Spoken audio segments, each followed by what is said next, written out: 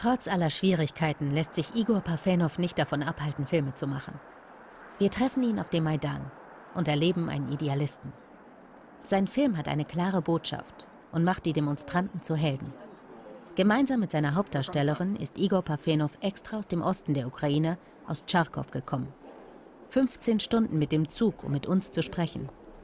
Seinen Spielfilm, Es war einmal in der Ukraine, hat er vor echter Kulisse gedreht, während der Proteste.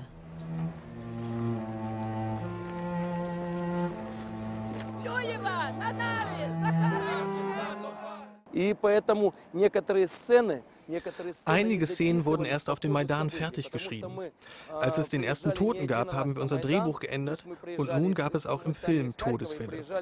Wir sind immer wieder hierher gekommen. Und je nachdem, was auf dem Maidan gerade passiert ist, haben wir unser Drehbuch angepasst.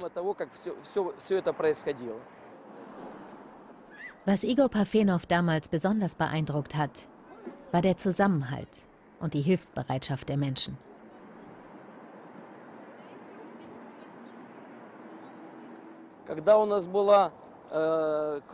Das ging so weit, dass, als wir eine Szene mit Kunstblut hatten, weil unser Darsteller verletzt sein sollte, viele Menschen angerannt kamen, um ihm zu helfen. Wir konnten die Menschen kaum stoppen.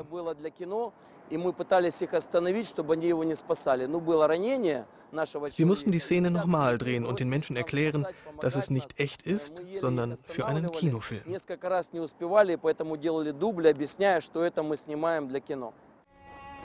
Sein Film erzählt die Geschichte von sieben Menschen, die aus unterschiedlichen Gründen auf den Maidan kommen.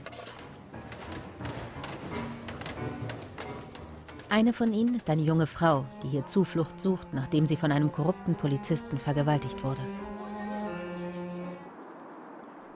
Diese Frau spielt Ellen Slusaci.